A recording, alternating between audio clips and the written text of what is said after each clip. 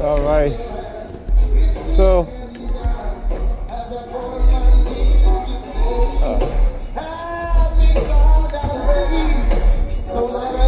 okay, this is what they've been doing, and I've noticed that the past couple months. Let me walk past this car. So, what they've been doing right now, at the end of the month, I have some bills that I use that are recurring bills that I pay through PayPal. And what they've been doing is switching my preferred payment to my uh, my bank card, right?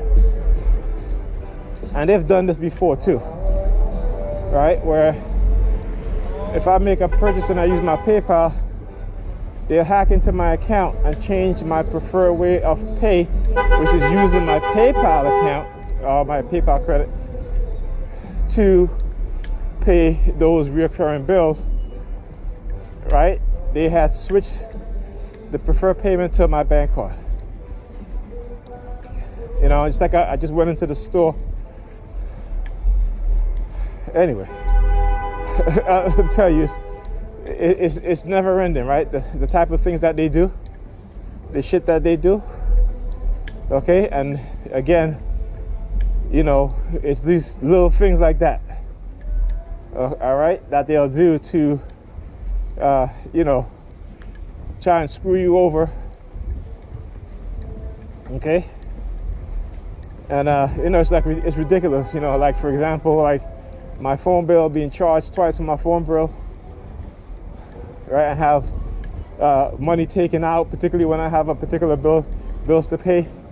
So they'll they'll charge me twice on my phone bill. And I have to have to uh, call and dispute, call the bank. Then the bank can't do nothing. Then I got to call uh, Boost Mobile, right? So then I got to call Boost Mobile to rectify the issue, you know. But the payment don't go, but my refund don't go back into my account until a few days later.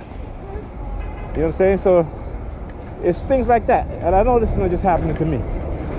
This is what they do to us, not just as TIs, but for me as a black person. This is what they do to us as black people. All right, to keep us in a state of uh, poverty, to keep us in the, to, to destroy our credit. You know, they, they do a, a whole number, number of things. All right? And because most people don't really understand what's going on, you know, they, they take it as this, you know, bad luck or coincidence. No, it's not. But keep saying this, you know. Things that happen to us, the black people in this country, is not by chance. It's not an act of your so-called God it's not coincidence. It is things that are planned, okay? Many years ago, you see how the bank used to rob people, money, particularly people of color, black people in particular, you know, by charging uh, numerous different fees or even outright stealing money from your from your account, right? Whether it be 25 cents, 10 cents, or a penny, and if they're doing it to millions of people, tens of millions of people, you know, that's a lot of money. Okay?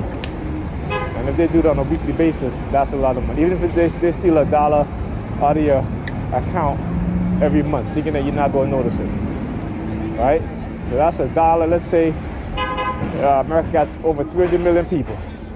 Let's say if they steal a dollar every month from half of that.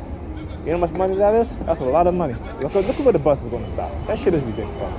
Anyhow, uh, let me get on that bus. Uh, anyhow, I will talk to you guys in the next video. Okay.